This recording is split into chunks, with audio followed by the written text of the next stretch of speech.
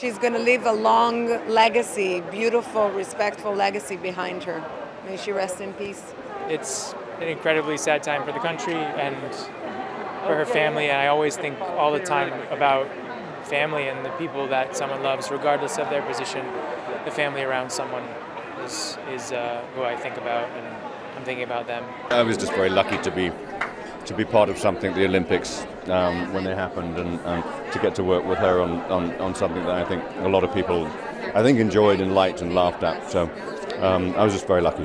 One has to remember her with now just the respect her or life and, and duty well lived deserves. But you also have to look to the future and think about what Charles can bring to the monarchy and the country and yeah, it's, it's going to take a while to digest, isn't it? And